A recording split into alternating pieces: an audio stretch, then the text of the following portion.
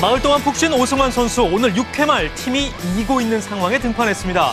아 충분히 쉬어서 그런가요? 공에 힘이 넘칩니다. 네. 돌직구로 첫 타자 3진으로 처리하네요. 자, 그리고 다음 타자는요. 겨우 공을 맞췄지만 내야를 벗어나지 못했고요. 땅볼로 이렇게 아웃됩니다.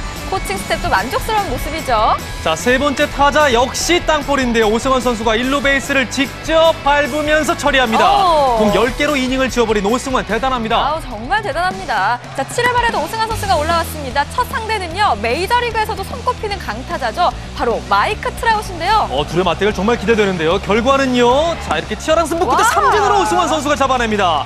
어, 막판에 보세요. 이렇게 공 떠오르는 거 보셨어요? 네. 어떻게 이런 공을 던지죠? 정말 굉장합니다. 자 이후에 1루에 주자가 나가 있는 상황 병살을 유도하는데요. 2루 아웃 아슬아슬했지만 1루도 아웃 이렇게 이닝을 끝냅니다. 아니요, 아니요. 분위기가 좀 이상한데요. 어? 아, 공이 약간 높게 떠오르면서 일루수 발이 떴습니다. 오. 세이프로 굉장히 번복되네요. 어 그래요.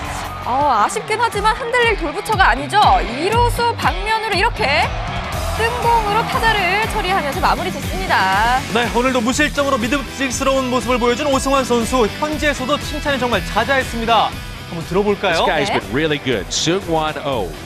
Oh, who's more of a high leverage situation type pitcher, is not being used as much as maybe some of the others. 아, 현지에서도 좀 많이 Oh. 등판을 해라 아쉬워하는 것 A 같아요. lot of 네. late swings. He hides the ball, little toe tap.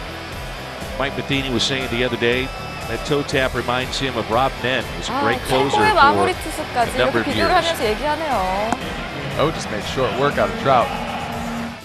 자, 그렇습니다. 이렇게 메이저리그를 접수하기 시작한 끝판왕 오승환 다섯 번째 홀드와 팀 승리까지 챙겼습니다.